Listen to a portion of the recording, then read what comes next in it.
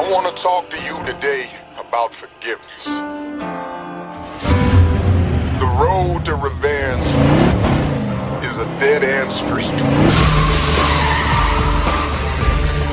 Put down that 45, that 38. Put it down, brother. Forgive them, and it will set you free.